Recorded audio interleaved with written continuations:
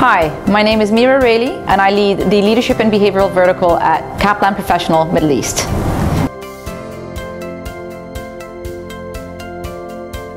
At Kaplan Professional Middle East, we are true believers that anybody learning or growing in the corporate world need to have a blend of knowledge, skill, and behavior. Our blended programs are a combination of all three.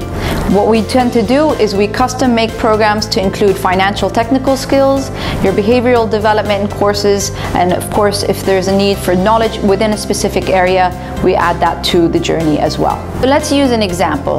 Let's say you are building a high-performing program for uh, bankers who are, you know, moving into succession or first-time management roles in their company. What we would do is work with you to understand the exact needs, and based on that, we might create a journey that would include include programs such as financial analysis, maybe even financial modeling.